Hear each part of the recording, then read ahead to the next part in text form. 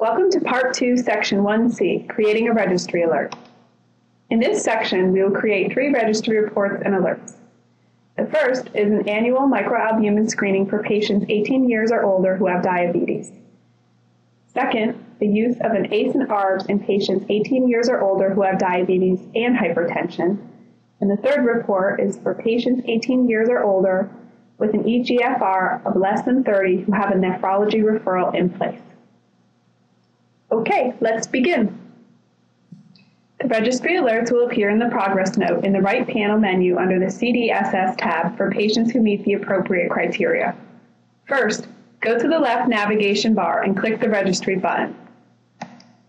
Click the registry icon. We will run a new registry query for patients 18 years and older who have diabetes and need an annual microalbumin screening. Under the Demographics tab and age range, enter 18 and leave the upper limit blank so that we get a query of all patients 18 years and older. Click Run New. A list of patients appears. Go to the ICD tab. From the pull-down menu, select ICD Groups. Then click Select and a new pop-up window appears listing the ICD groups.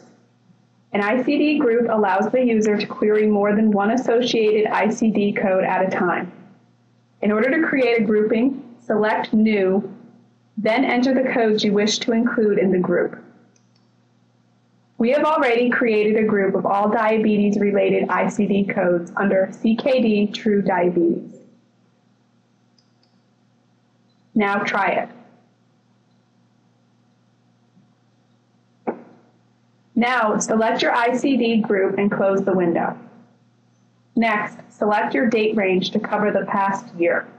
Click Run Subset.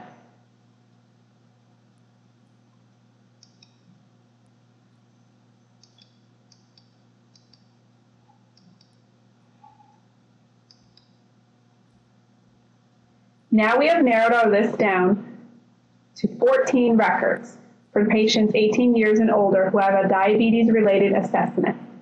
Select the Labs DI tab. For labs, click the Select button and a pop-up window will appear to allow you to select the lab of interest, which is microalbumin. We will hi highlight the microalbumin creatinine ratio and click OK to close the window. Make sure the date range matches the dates we selected under the ICD tab, covering the previous year.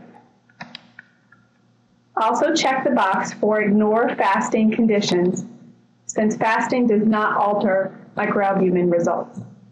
Click the Run Subset Not button. This will give us all patients ages 18 years and older with a diabetes-related assessment in the past year that have not had a microalbumin screening in the past year. Now try it.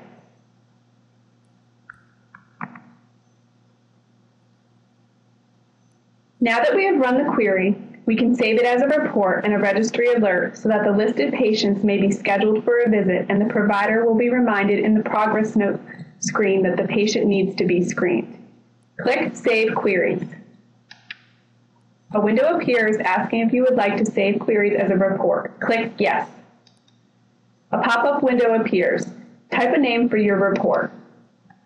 We'll put Needs Annual Microalbumin Screening.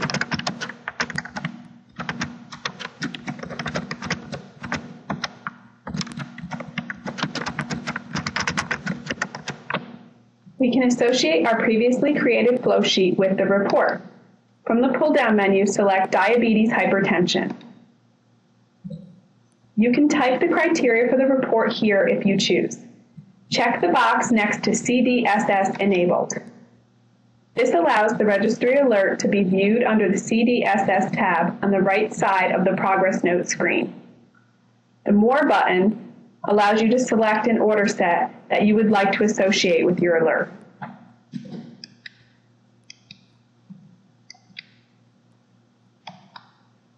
We can view the report we just created. In the left navigation bar, click the Registry Reports icon. Check the box next to Needs Annual Microalbumin Screening. Then click Run Report. An Excel spreadsheet appears with all the patients who fit our criteria. The created flow sheet measures, as well as encounter dates and patient identifiers are listed across the top.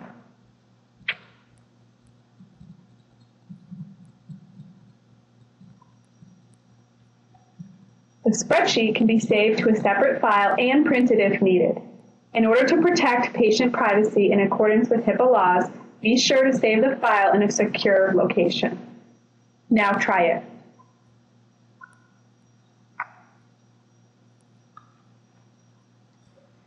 Now let's view our created registry alert.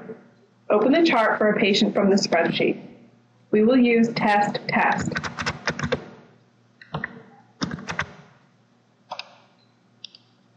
In the hub, we can access the CDSS tab. Click on the tab and we see the list of registry alerts below. If the alert does not appear, click Update to refresh the list. Now try it.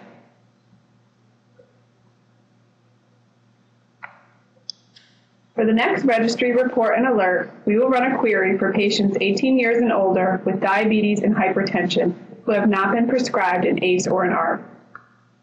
Go to the left navigation bar and click the registry button. Click the registry icon. Under the demographics tab and age range, enter 18 and leave the upper limit blank so that we get a query of all patients 18 years and older. Click Run New. A list of patients appears. Go to the ICD tab. From the pull-down menu, select ICD groups. Then click Select. We have already created a group of all diabetes-related ICD codes under diabetes with hypertension. Now, select your ICD group and close the window. Next, select your date range to cover the past year. Click Run Subset. Now we have narrowed our list down to patients 18 years and older who have a diabetes and hypertension related assessment. Next, open the tab for structured data. Earlier in the video, we created structured data fields that allow the user to search for data entered into the HPI. Now we can search for patients who have not been placed on an ACE or an ARB based on data we entered in our structured data field. Click the More button to search for the field name. Go to HPI section, endocrinology category, then diabetes, and diabetes again. Then click OK. Highlight the hypertension path that we created earlier. Then click OK. Click the More button to specify the desired field value. Check the box next to with an ACE or an ARB. Then click OK to make your selection. Click the Run Subset Not button to generate a list of patients 18 years and older with diabetes and hypertension who have not been prescribed an ACE or an ARB. Click Save Queries.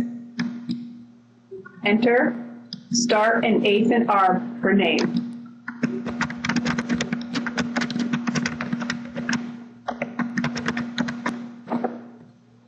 Select the diabetes hypertension flow sheet.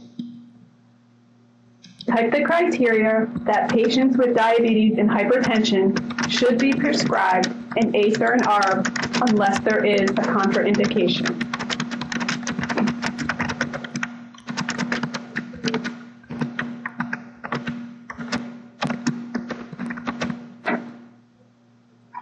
Check the box for CDSS enabled and select the desired order set to associate with the alert.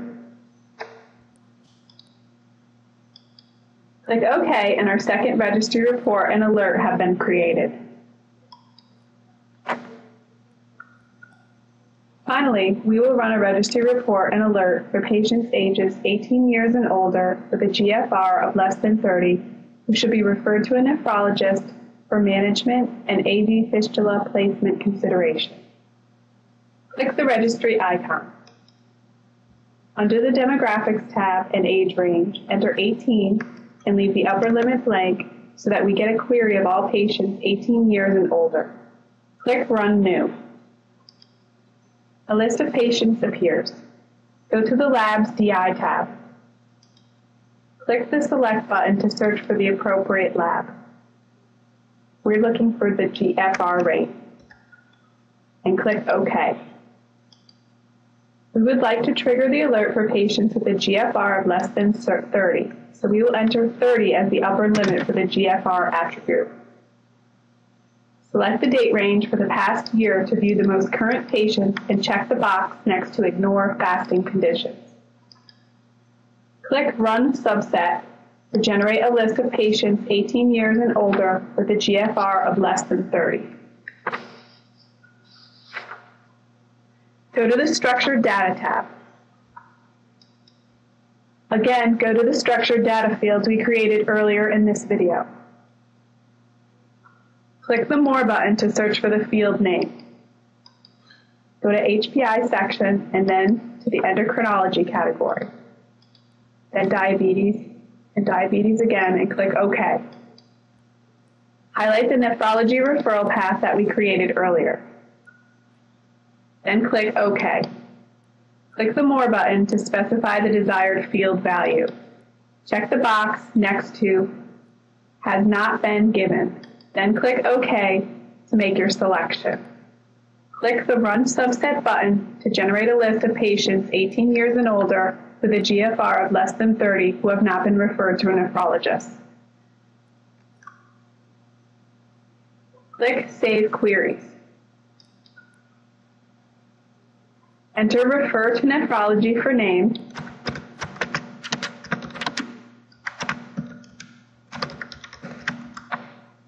Select the diabetes hypertension flow sheet.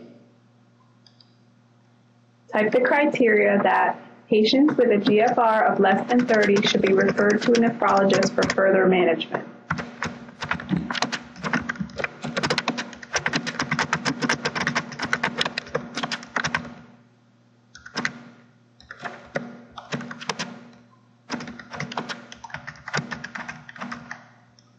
Check the box for CDSS enabled and select the desired order set to associate with the alert.